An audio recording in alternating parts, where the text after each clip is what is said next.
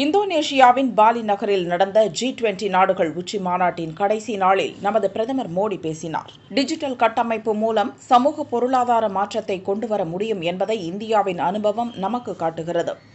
கடந்த ஆண்டு நாற்பது சதவீத பண பரிவர்த்தனை யுபிஐ வழியாக நடந்துள்ளது. ஐம்பது நாடுகளில் மட்டுமே டிஜிட்டல் பரிமாற்ற அமைப்பு உள்ளது. முறையாக பயன்படுத்தினால் டிஜிட்டல் தொழில்நுட்பம் மூலம் வறுமையை ஒழிக்கலாம்.